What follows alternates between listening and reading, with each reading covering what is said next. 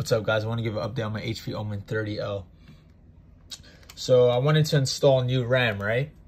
So I bought the Vengeance Pros 8x4, 32 gigabytes. Put them in all slots. It worked fine.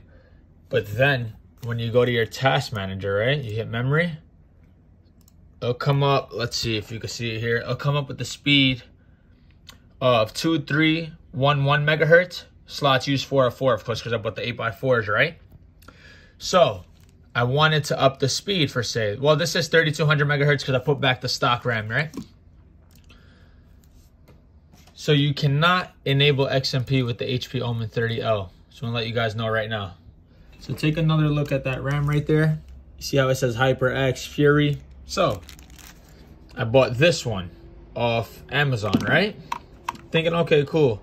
So you just gotta buy the same RAM. You know, this is a 3200 megahertz as well. And guess what? This did not work as well. Because HP has to modify your RAM for you. And you cannot do it in the BIOS, in the XMP. It will not allow you to enter. So if you ever thought about like upgrading your RAM, you can't do it unless you change out the motherboard, which would be like two, or three hundred dollars. And if you want to get new RAM, right? For the HP, you have to buy it from HP and that 16 gigabyte RAM right here, the one you're looking at, 3200 megahertz, the one inside the PC. Let me see if you can get in there right there.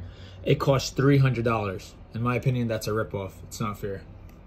Meanwhile, 16 gigabyte RAM costs $100. So, $200 price difference.